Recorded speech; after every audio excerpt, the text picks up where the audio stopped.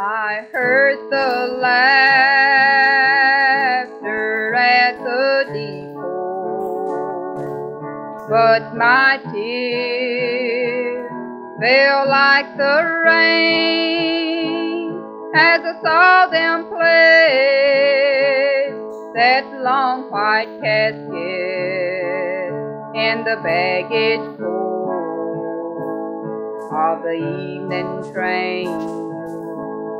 The baby's eyes are red from weeping.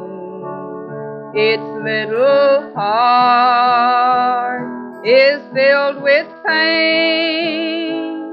Oh, mommy, he cried, they're taking daddy away from us on the evening train as I turned away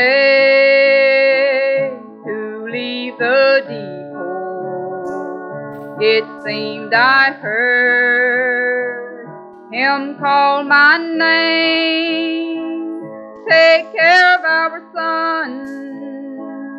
Just tell him, darling, that I'm going home